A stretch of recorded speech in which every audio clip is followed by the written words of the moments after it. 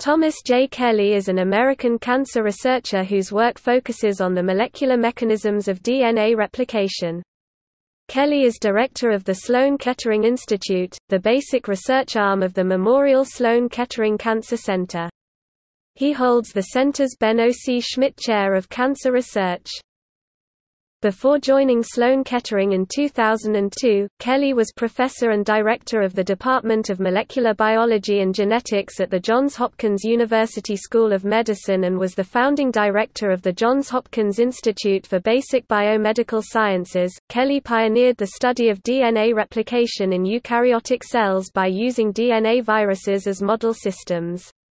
His laboratory developed the first cell-free systems for studying the biochemistry of DNA replication in human cells, enabling the identification and functional characterization of components of the human replication machinery. In recognition of this work he received the 2004 Alfred P. Sloan Jr. Prize of the General Motors Cancer Research Foundation and the 2010 Louisa Gross Horwitz Prize of Columbia University.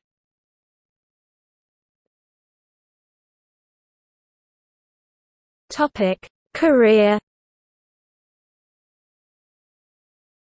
Kelly earned a PhD in biophysics in 1968 and an MD in 1969. While a postdoctoral fellow with Hamilton O. Smith at the Johns Hopkins University School of Medicine during 1969–70, Kelly determined the DNA sequences recognized by type II restriction enzymes, which subsequently became major tools in recombinant DNA research. In 1970 he moved to the National Institutes of Health as a member of the United States Public Health Service and conducted research on the DNA viruses, adenovirus and SV40, which cause tumors in animals. He joined the faculty in the Department of Microbiology at the Johns Hopkins University School of Medicine in 1972, where he began to exploit viruses as potentially powerful model systems for exploring the mechanisms of DNA replication in human cells. Using proteins derived from human cells, he and his colleagues developed the first cell free DNA replication systems capable of duplicating the complete genomes of adenovirus and SV40. The SV40 system proved to be a particularly useful system because SV40 relies largely on the cellular replication machinery for the duplication of its genome. Thus, biochemical analysis of the SV40 system made it possible to identify and functionally characterize proteins and enzymes that carry out the duplication of the chromosomal DNA in human cells.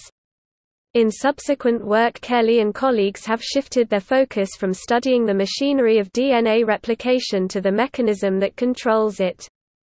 Studying these mechanisms are essential for ensuring the accuracy of DNA replication during the cell cycle in human cells and in fission yeast Schizosaccharomyces pombe, which is highly significant in understanding cancer. Since 2002, Kelly has been the director of the Sloan Kettering Institute, where he has expanded or reinvigorated some of its laboratory research programs.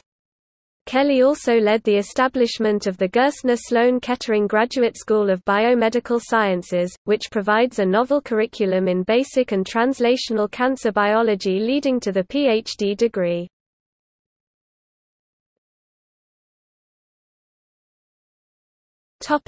Honors.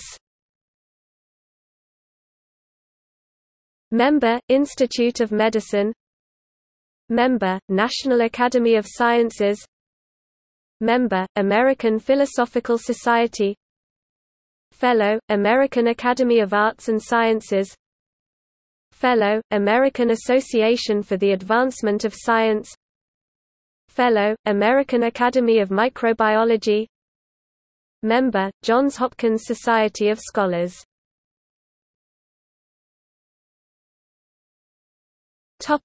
Awards Louisa Gross Horwitz Prize of Columbia University, 2010 Alfred P. Sloan, Jr. Prize of the General Motors Cancer Research Foundation, 2004